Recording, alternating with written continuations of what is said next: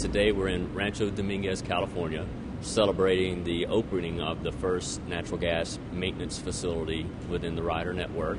The project involves the development of uh, three natural gas maintenance facilities, the construction of two natural gas fueling facilities, and the delivery of more than 200 natural gas commercial vehicles. Well, this natural gas project is important for the region because it is first of a kind in, in a public private partnership uh, between uh, the SANBAG and SCAG and Ryder.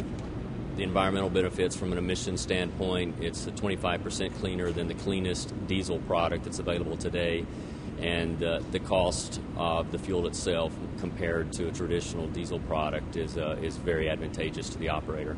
In addition, one of the big things about it was that uh, it's going to affect a lot of jobs, over 400 uh, jobs out there from these vehicles that are made in the United States and the uh, support services that companies like Ryder provide to sort of help keep people employed and the benefits that are associated with this cleaner fuel like natural gas because customers are facing tremendous challenges in the marketplace right now. They're facing challenges around rising energy prices, and they're looking to tap into the predictability, the cost efficiency, and the environmental benefits of alternative fuels.